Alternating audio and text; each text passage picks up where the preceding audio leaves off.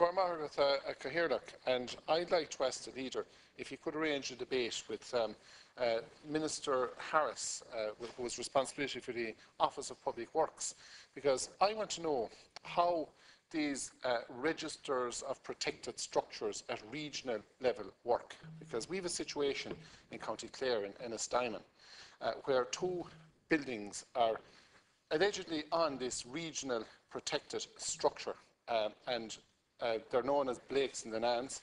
Uh, they're on the N67, uh, which is the main uh, uh, connect connectivity to the Cliffs of Moher.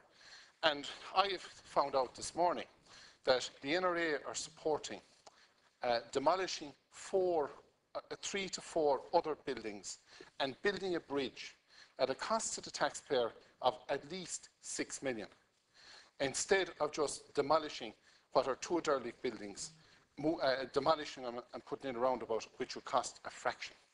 Now, we're after coming out of a bailout in this country, where Irish people, the length and breadth of this country, suffered enormously. And I would consider what the NRA are proposing as a scandalous waste of taxpayers' money.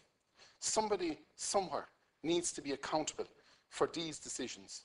It's completely and totally unacceptable the two buildings, and I would question very much uh, where their national heritage, uh, the, the, whether they have any national uh, heritage importance. So I think serious questions need to be answered on this issue by the Minister for Transport, the Minister for the Environment, and the Minister with responsibility for the Office of Public Works. So let's start with him and get him in here to explain how these structures work, how these registers work, and how buildings can be removed from these registers when they're holding a whole community to ransom, and ultimately uh, forcing people out of their homes, uh, which uh, could potentially be purchased uh, through the compulsory purchasing legislation, in order to protect what I would describe as two kips.